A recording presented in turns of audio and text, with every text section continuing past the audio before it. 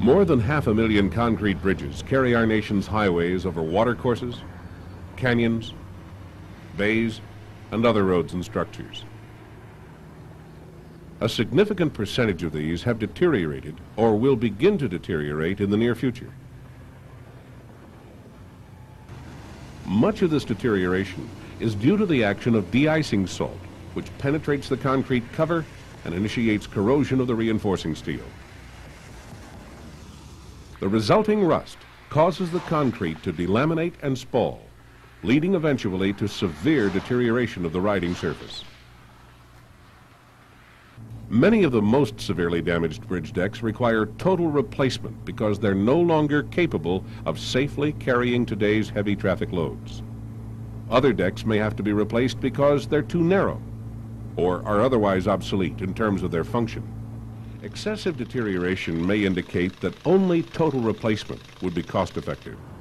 So a visual survey is the first and most important test, including a close examination underneath. This is especially important if there's been an asphalt overlay. After a visual survey is completed, the deck should be sounded to locate any subsurface delaminations. Extensive delamination may indicate the need for deck replacement. Delaminations may also be detected with more sophisticated techniques, such as infrared thermography, impact echo measurements, and ground-penetrating radar. Half-cell potential measurements are often used as part of the deck survey when bridges are chosen for rehabilitation and overlays. The electrical potential measured between the copper-copper sulfate half-cell and the rebar steel is an indication of the probability that the rebar steel is corroding at any given location. Large areas of potential values that are more negative than 350 millivolts indicate that the deck is a good candidate for rehabilitation. Sampling for chloride analysis is another widely used measurement in deck surveys. Powder samples are obtained using an impact hammer and are then analyzed in a laboratory. Samples can also be analyzed in the field using a new technique developed by SHRP. Chloride contents in excess of 1 to 2 pounds per cubic yard of concrete are usually sufficient to initiate corrosion of rebar steel. Some agencies may require removal of all chloride-contaminated concrete prior to installation of an overlay. This will prolong the life of the overlay because corrosion will not continue in the absence of chloride.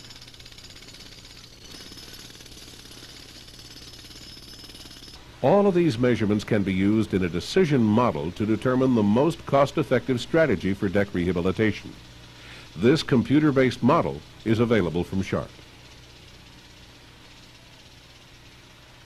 Now let's look at materials.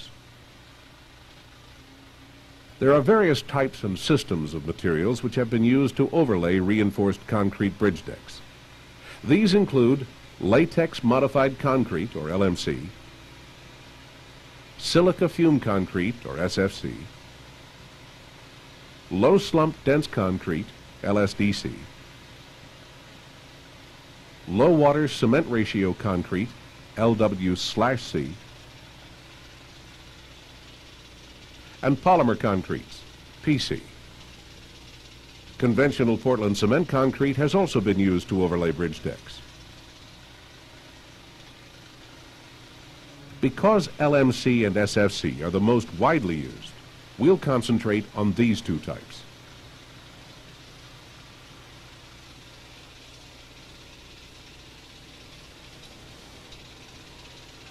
Latex modified concretes contain a latex emulsion, generally based on styrene butadiene polymer, which is added to the concrete mix.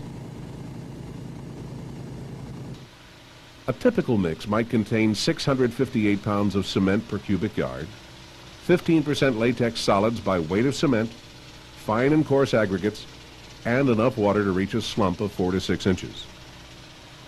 The water to cement ratio should be no greater than 4 tenths. Air entrainment is not required.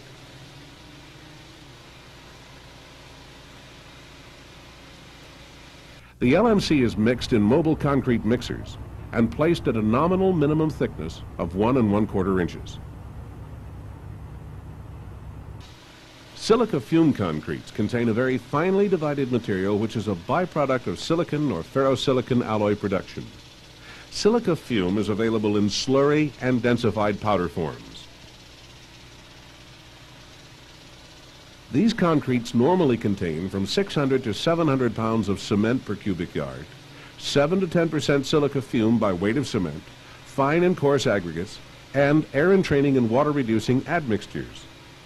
The water to cement plus silica fume ratio should be no greater than 36 hundredths. Superplasticizer must be added to obtain the desired slump in the range of 4 to 8 inches.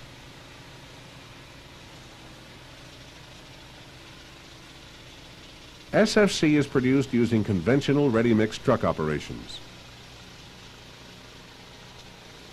After the deck has been selected for overlay, the next step is surface preparation.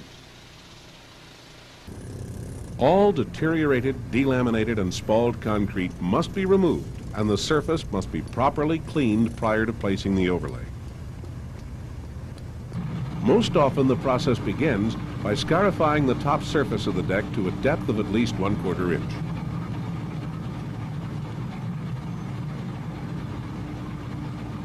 Scarification using automatic rotomilling equipment must be done carefully so as not to damage any steel lying close to the surface of the deck.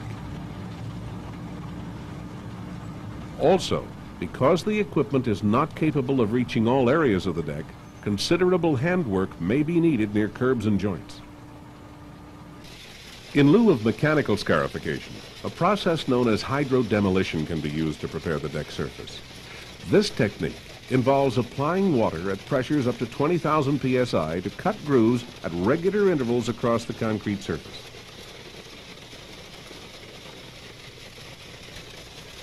The high pressure of the water also breaks off the concrete remaining between the grooves, removing all concrete to a preset depth. The unit is robot controlled and can process up to 100 square feet of surface per hour.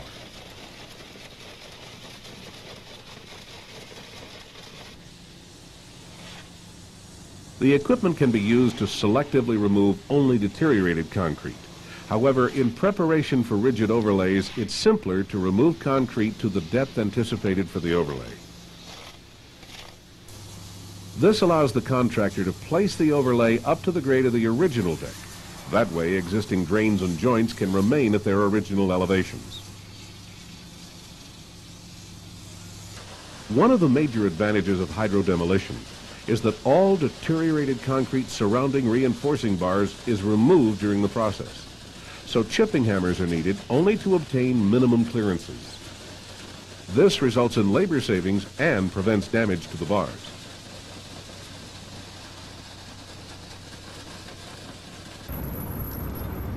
After the top layer of concrete is removed, the deck should again be sounded to identify any deeper delaminated areas. These areas are then marked with paint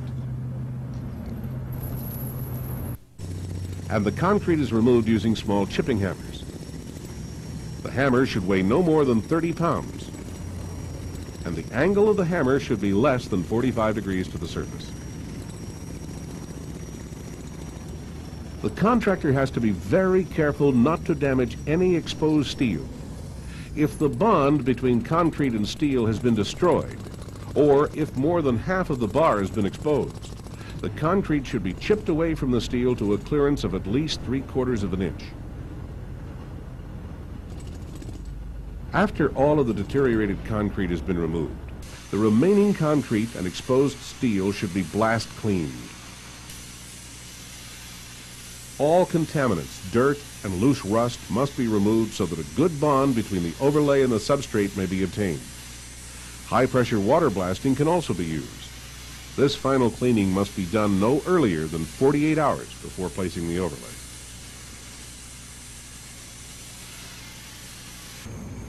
The surface should now be thoroughly checked for the presence of any material which could interfere with bonding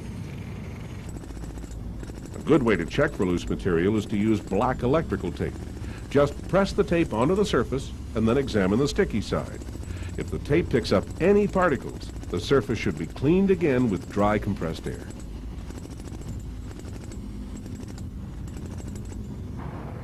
During the cleaning process, the contractor will begin setting the rails for the paver. The rails are positioned outside the width to be paved on a curb, sidewalk, or median barrier. They should be supported by adjustable rail supports. No discernible deflections of the rails should be permitted.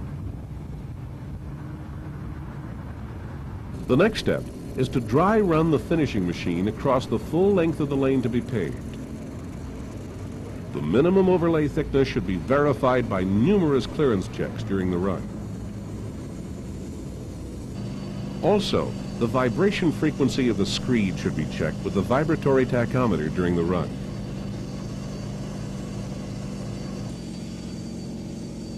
After all corrections are carried out, a final test run should be made. On the scheduled day of placement, you should check the ambient conditions to see that they comply with agency specifications. Many agencies use this chart to determine the evaporation rate from the concrete. Determining the evaporation rate involves measuring the ambient air and concrete temperatures, wind speed, and relative humidity.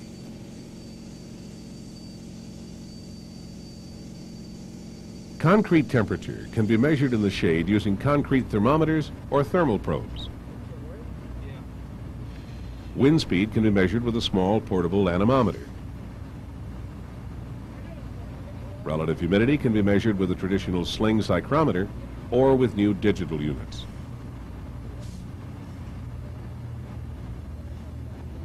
Suggested maximum limits on evaporation rate range from one-tenth to 15 hundredths pounds of water per square foot per hour for LMC and SFC overlays.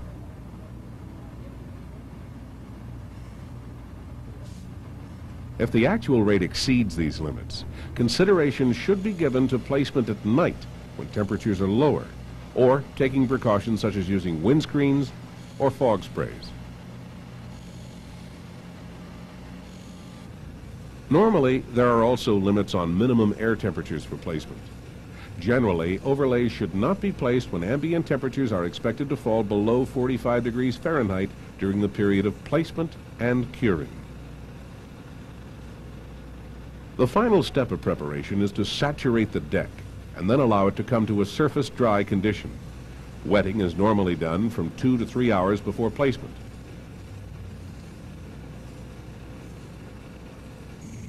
Once the surface is dry, the deck is ready for placement of the overlay.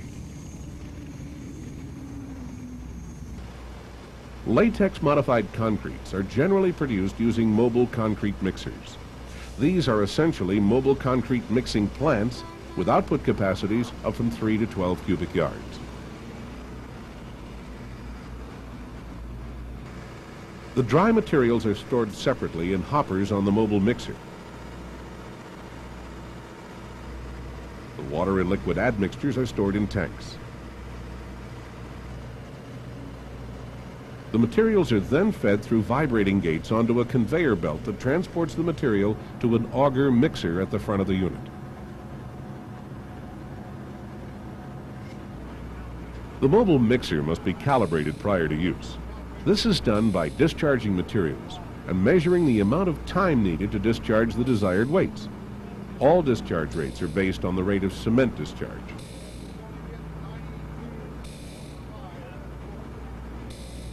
Now we're ready for the LMC overlay placement. A bonding grout should be broomed into the deck immediately in front of the area to be overlaid.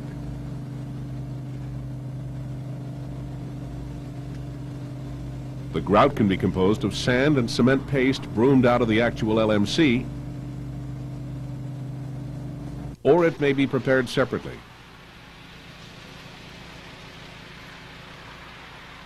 In any case, it must not be allowed to dry out before the LMC is placed on top of it. LMC is then discharged from the mobile mixer and placed in front of the paver. A roll of concrete should be maintained in front of the screed. You should check the vibration frequency of the screed again, now that the screed is under load. In variable depth areas, more than three inches deep, internal vibrators should be used in advance of the screed. The paver cannot finish the entire width of the deck, so areas near curbs and joints must be carefully hand finished. Throughout the placement operation, a 10-foot straight edge should be used to check the planeness of the surface. Thickness checks should also be made frequently.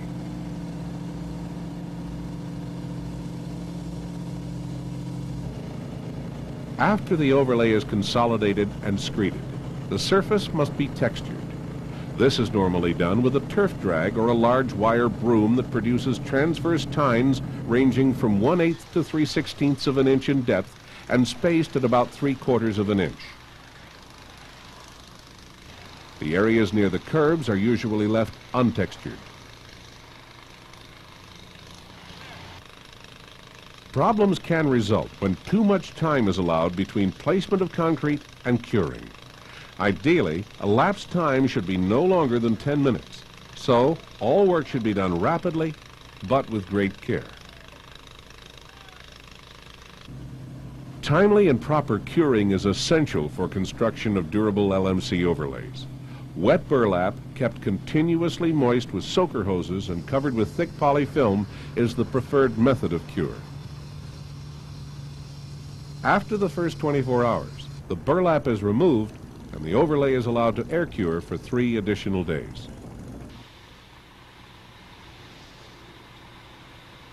Construction of bridge deck overlays using silica fume concrete is virtually identical to that of LMC overlays with the exception that mobile mixers are not generally used.